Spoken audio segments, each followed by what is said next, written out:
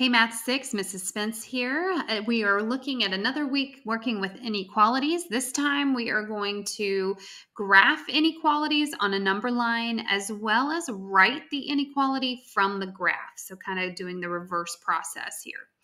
All right, and I gave you a sneak peek last week at graphing inequalities on a number line, but let's look at them a little bit more in depth. Okay, so the thing about graphing number lines, when you're working with an equation, you are just working with something that is equal to it and nothing else. For example, if I say that x equals 3, x can only be 3.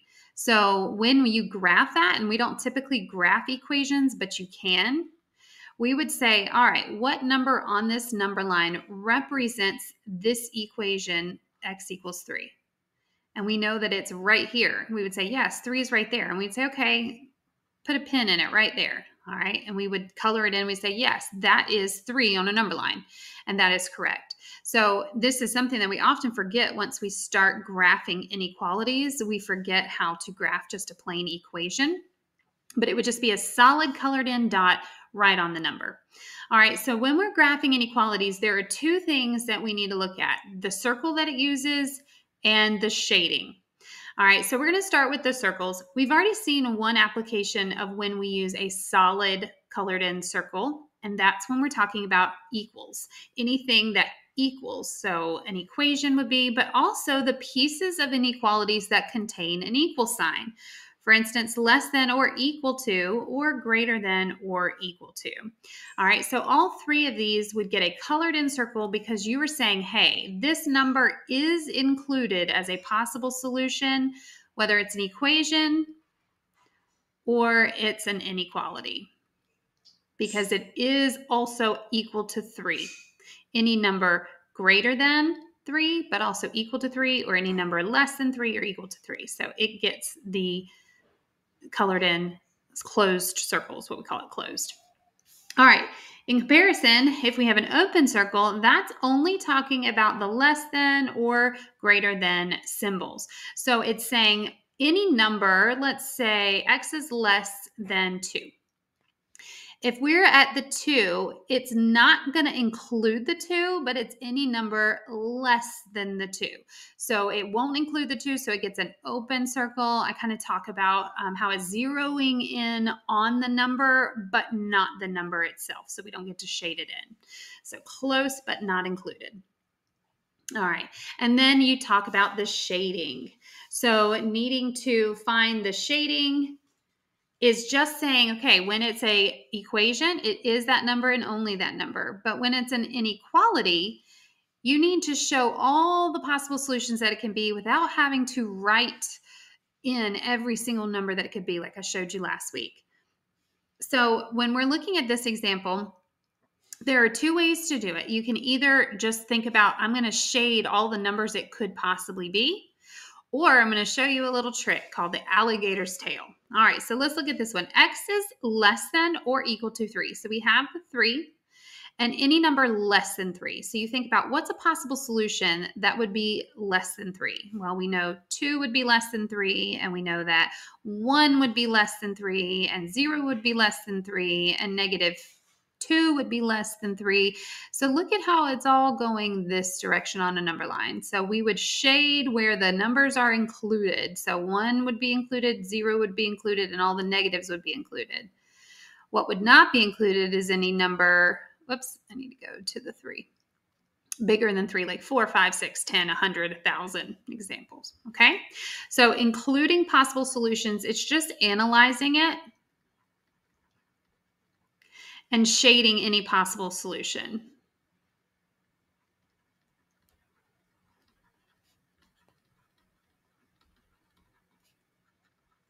All right, no trick to it. Now, when I talk about the alligator tail, so when we learned in elementary school that the alligator wants to eat the bigger number, we didn't talk about inequalities as possible solutions or solution sets to inequalities. So, what I say with the alligator's tail is if you look like this is the mouth with the teeth here, okay, the tail would be going the opposite direction of the mouth, right? And so you would shade in the direction of that's opposite of its mouth or shade the tail.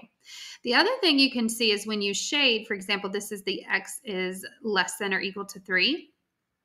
When you shade this in and you include the arrow on it, look at how it's the same symbol used as the inequality symbol. It's going the same direction. So you can see that even with this tail, it looks like the less than symbol that we used for the mouth. Okay, um, let's do another example down here.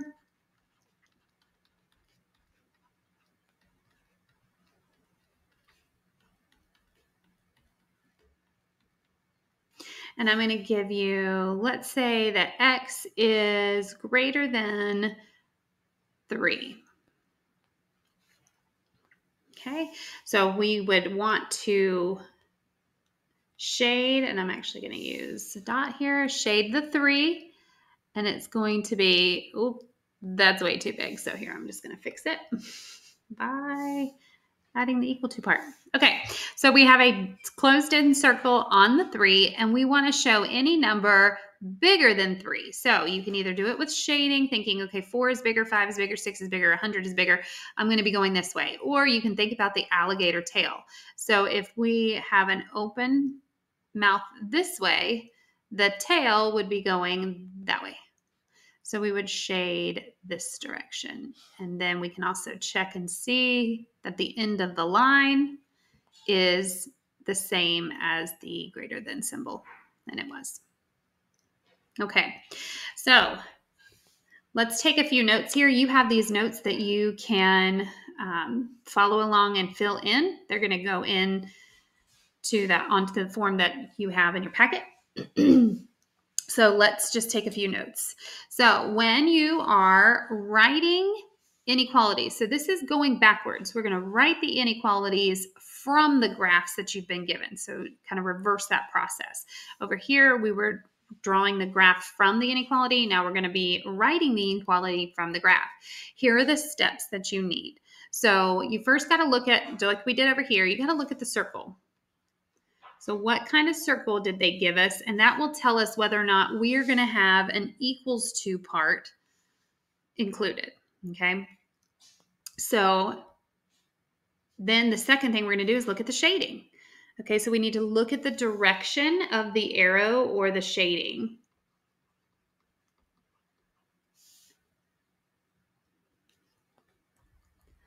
All right, the second step is the variable goes on the left. Always put the variable on the left. And that's something that I need to reiterate about that little trick with the alligator tail.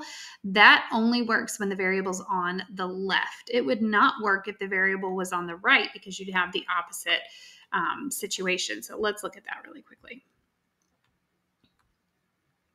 All right, so for instance, this x is greater than or equal to 3. What if I had the 3 on the left and the x on the right? Still going to make the alligator eat the x because it's what is larger.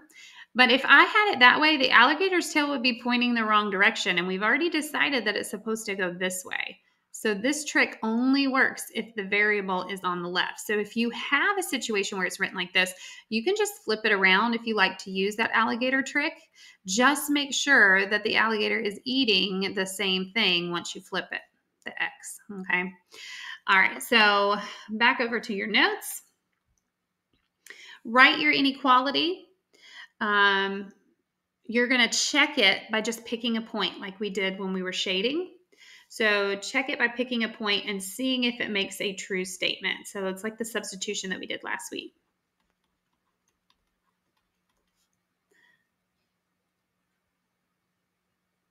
All right, so you're going to pick a point along the shading or along the line, the arrow.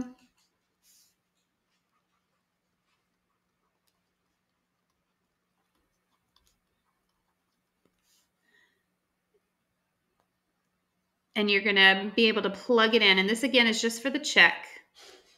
Plug it in, and if it makes a true statement, you wrote the inequality correctly.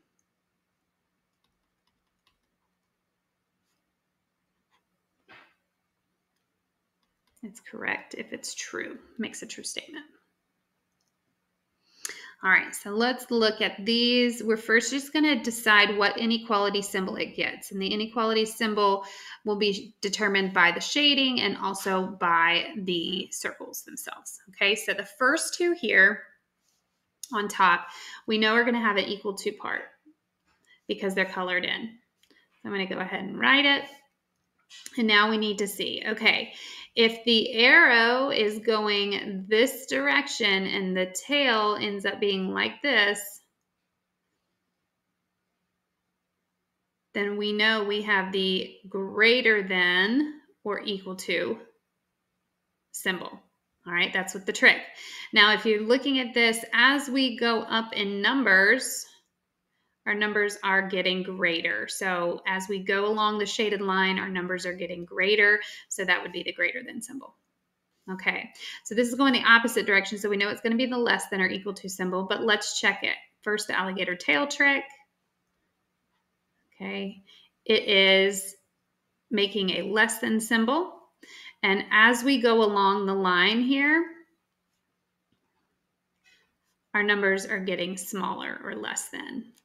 So yes, that would be the less than symbol.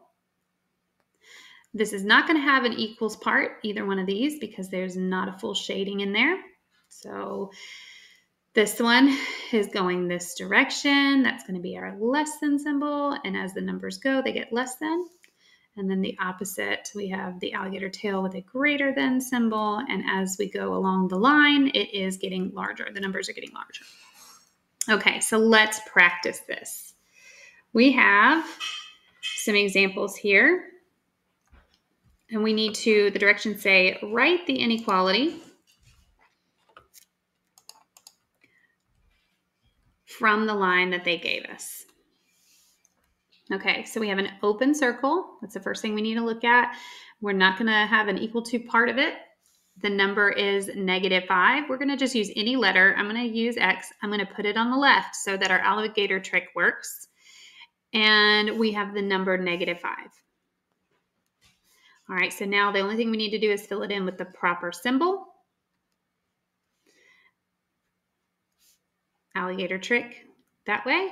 But if we look at our numbers going from negative 5 following the line, we are getting larger. Our numbers are greater than its starting point of negative 5. All right, let's look at the second one. I'm going to use the same letter X. My number is 1 it's closed in. So I know it's going to have an equal to part. So my numbers are getting larger as we go. So I need to say that my solutions, all of my possible solutions, will have to get larger than my starting point of one. So that's this way. And then if I wanted to use the hack or the trick, we went the correct direction. All right, let's look at this one. X on the left. My number, my starting point is 3, and all of my possible solutions are getting smaller than 3. So that's going to be a less than. It is closed in, so it gets the or equal to part. And we have our solutions are less than or equal to 3. All right, this one, the starting point is 4. X on the left, no equals to part. From our starting point, the possible solutions are getting larger, so our solutions need to be larger than 4, no equals to part, and it is x is greater than 4. All right, starting point is 0 on this one. It is closed in, closed circle. From our starting point, all the solutions have to be less than the zero. So zero is the largest number. All possible solutions, which are what we shade, we shade all possible solutions are less than that zero. So it's going to be less than or equal to. And last one, starting point of negative four, x on the left, open circle, all of my possible solutions that are shaded are less than that starting point. So I'm going to turn my back on possible solutions and eat the largest number, which is negative 4. No equals 2 part. And we have the less than symbol that we shade. All right, I hope that helps. And I hope you have fun practicing these graphings. I know I love graphing inequalities, and you will learn in algebra how we are going to extend graphing inequalities when we start dealing with more than one variable.